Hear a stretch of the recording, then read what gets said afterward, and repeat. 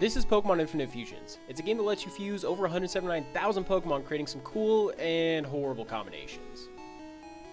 So, I made my name, and our journey began. Professor Oak let us choose our first Pokemon, and I picked Squirtle since it's my son Carter's favorite Pokemon. I then fought my rival who fused the other two starters into this gem, which might be my favorite Pokemon. I quickly found my first atrocity of the wild, this Tangela Pidgey, and put it out of its misery. Found a Nidoran and added it to the team. I needed to prepare for our first gym leader, Brock, and thought it was a good idea to fuse a Pidgey with Carter, and it turns out it was a pretty awesome combination. I fought our rival and quickly steamrolled him with our new fusion. Then it was time to give some love to Nidoran.